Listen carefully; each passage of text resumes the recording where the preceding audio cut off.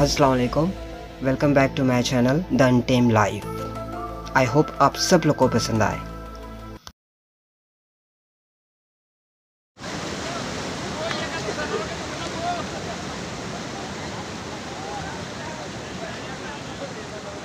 Jalgaon district में भारी बारिश की वजह से चालीस गाँव के आसपास के इलाकों की नदियों का वाटर लेवल बहुत ज़्यादा ओवरफ्लो हो गया है, जिसकी वजह से बाढ़ जैसे हालात बन गए हैं।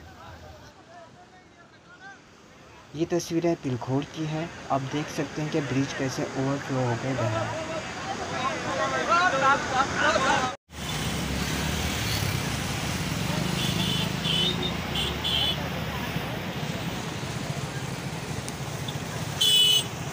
साला एखादा या ना शपुटे शपुटच की का